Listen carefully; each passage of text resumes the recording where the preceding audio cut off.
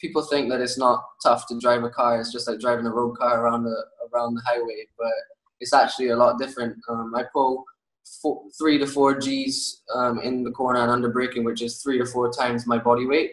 So under braking is definitely very tough, and even in the corner, and you have to do all these stuff while thinking about how to not how to drive, but about how to make certain moves on the track and have good decisions, um, decision making. So is very very tough, and you still have to be listening to your engineer while driving because I have a radio and and he's telling me different strategy, different different stuff I need to work on.